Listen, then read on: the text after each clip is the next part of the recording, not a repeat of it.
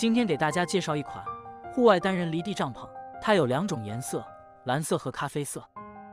将它展开之后，首先安装支架，支架有弹力绳连接，安装简单，将帐篷扣挂在支架上。框架搭建好之后，我们将它放在行军床上，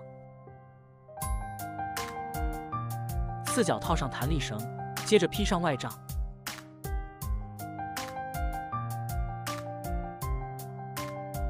粘上粘扣，四角打上地钉，调节松紧度，就安装好了。